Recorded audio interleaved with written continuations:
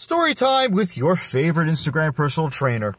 I used to work in a music marketing firm in the Chelsea area of Manhattan in the mid 2000s, and I would work from 10 to 7.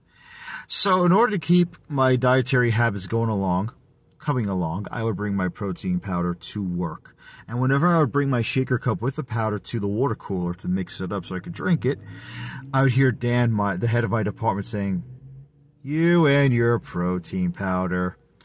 This is the same guy that would brag on the phone to music directors of college radio stations about how he got so drunk the night before. So the moral of the story is this. There are people in this world, no matter where you go, that will always try to bring you down because they don't understand what you're trying to do. They want you to be average like them.